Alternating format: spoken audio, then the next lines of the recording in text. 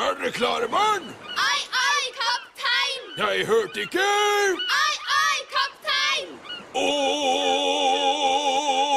Hvem bor i en ananasstipp i sjøen? Svampebob Firkant! En kula med hull så han suger seg grønn. Svampebob Firkant! Er sjøfjolleri noe som du vil se?